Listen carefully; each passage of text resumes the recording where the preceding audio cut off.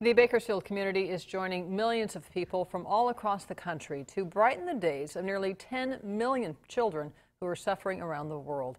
Starting today, during Operation Christmas Child's National Collection Week, people are filling empty shoeboxes with gifts for children in need.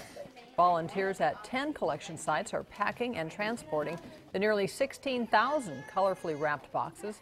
The collection centers will remain open through Monday hoping to send over 516,000 shoe boxes to the Philippines. The Philippines is one of the countries we will be honoring with our shoe boxes this year too. To find out where you can take gift boxes for kids in need, just go to our website, turnto23.com.